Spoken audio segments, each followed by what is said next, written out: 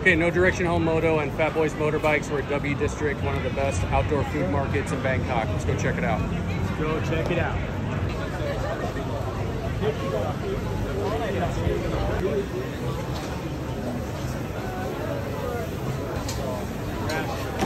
I can get him in the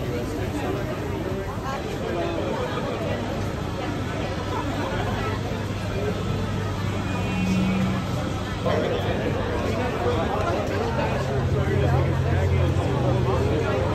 It's so good, man. I love. It's my favorite. My favorite. Yeah, I I have a weird taste, so I would probably like it.